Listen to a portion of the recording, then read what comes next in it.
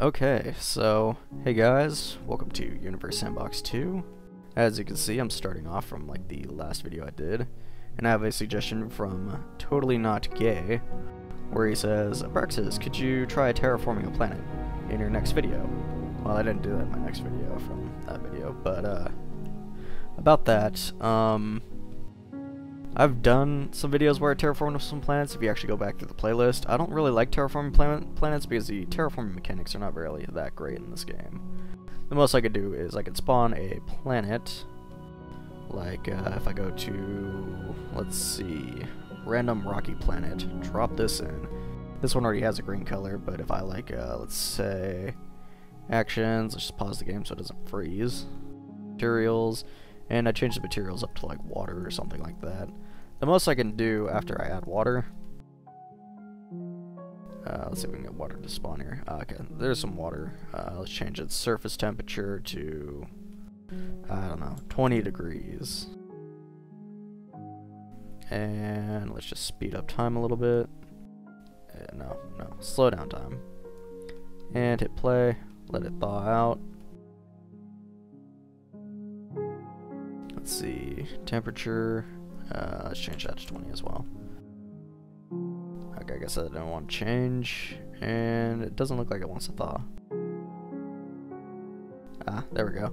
The most I could do, since this is not a uh, textured world, is change the colors of these textures. So there you go, there's some green.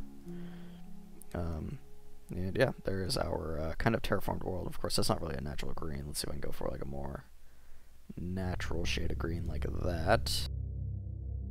Maybe change like this blue to be like um, something else. Maybe like a brown.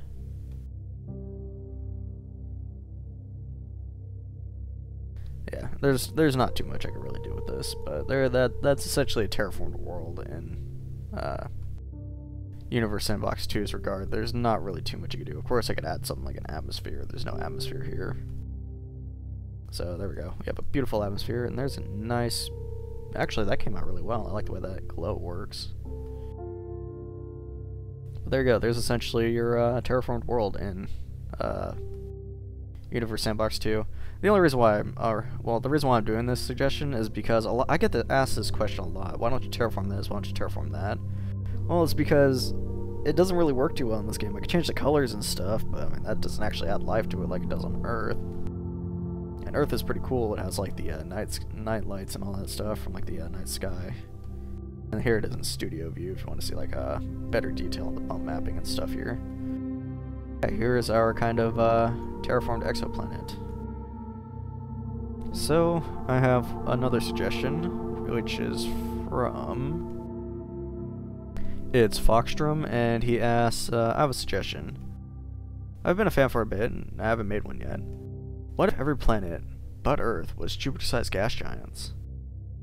Earth Among Giants would be a cool name for the video. Alright, that's all. Okay, well, uh, that's a good question. I actually, yeah, it's actually a good one.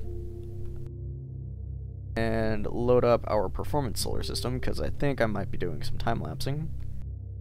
So, let's see. Performance simulation, no Kuiper Belt. Here it is. Okay, so, looks like we already have it paused. Conveniently, in this game, you already have the mass of Jupiter actually as a setting. As you can see, there's Jupiter, so if I just change everything to one Jupiter, it should be pretty easy. So everything but Earth. I wonder how this is actually going to influence the Sun more than anything. Earth, it might not fare too well. But the Sun, that might actually get a little bit, yeah, interesting.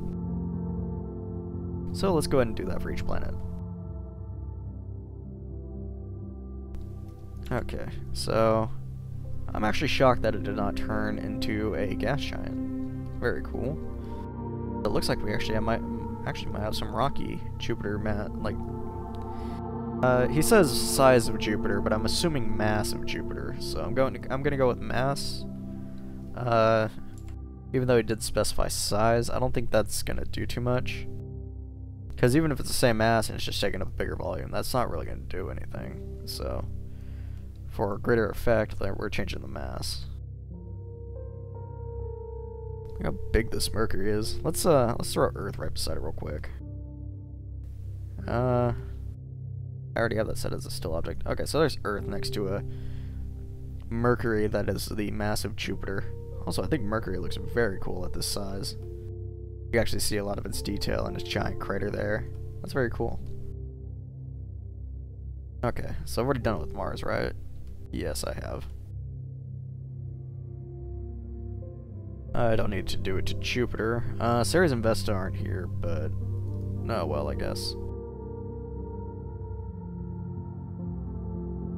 He did say planets, not dwarf planets. So we have Saturn here, which may be huge, but it's actually not all that massive. So let's go to Jupiter and set it to 1 Jupiter. And there's Saturn if it was the mass of 1 Jupiter, quite a bit bigger. Okay, so we have Uranus and Neptune, which I don't think will have any real significant difference, but we're doing it to all the planets, so here we go.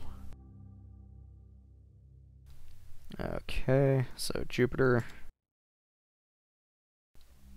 And voila. Let's uh kind of just zoom in right here to our sun and see what happens. Let's change the view to orbits. And let's just hit play. So I think most of the system will handle pretty well. The sun's gonna have a lot of wobble to it though. Earth, I think, is going to be probably pulled towards Venus and maybe even ejected out. Once Venus comes around, there it goes. So it probably just pulled Earth a little bit. If we go to view and trails, we might get a better sight of this. Actually, that didn't misalign Earth as much as I thought it would. You can see that it is not on the uh, same plane, though, as it spins around. You see it was dragged by Venus right there. And it's being pulled ever so slightly closer every time it orbits around, I believe. Doesn't influence that much, and then it was just kind of thrown out a little bit by Venus. So I think over a very long time span, this might actually have a significant effect. So let's just zoom into the uh, inner solar system, because I don't think much is going to happen out here. And let's just watch what happens in a time lapse.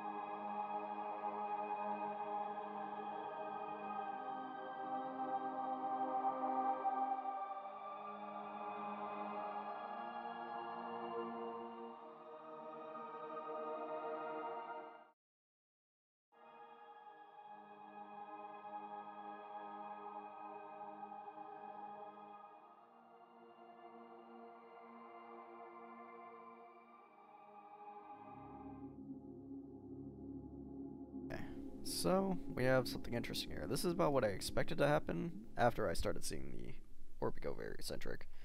It looks like our very own Earth has gone flying out of our system. In fact, we can't even see it. It's so dark.